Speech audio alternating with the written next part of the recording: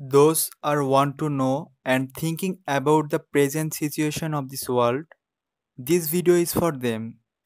Do you feel a war is coming soon? And I swear, this war will be because of religion. How can I say this? Keep watching this video. You may find out your answer.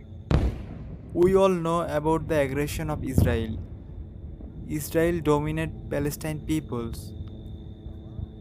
Hadith from Tamim al-Dari. Muslim believers surely admit Hadith. Basically, this reference is for them. Conversations between Tamim al-Dari and Dajjal. Dajjal said, Tell me about the lake of Tabaria. Tamim al-Dari said, What do you want to know about it? Dajjal said, Is there water in it? Tamim al-Dari said, There is a great deal of water in it. Dajjal replied, Soon it will dry up. Now question is arise.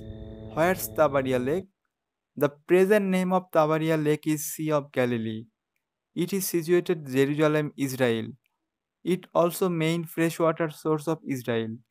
The drought has been going on for 5 years. Sea of Galilee's water level decreases gradually.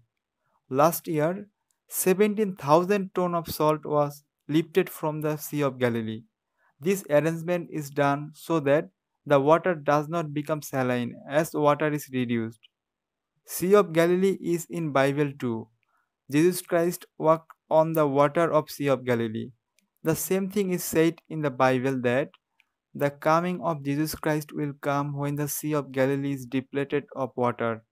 Hopefully, you get a good sense that the water of the Sea of Galilee will soon dry up, and these events will turn into reality. Israel is making the third temple from secret sources. 90% of the work is done.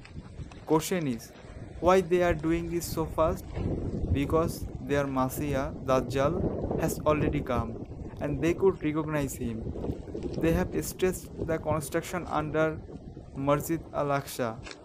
From secret source, they are planning to destroy the Al-Aqsa Mosque. They will exile the Muslims. Very tough days are waiting for Muslims. What do you think? This war will probably do right here? Comment your opinion. For more videos, subscribe Real Messenger.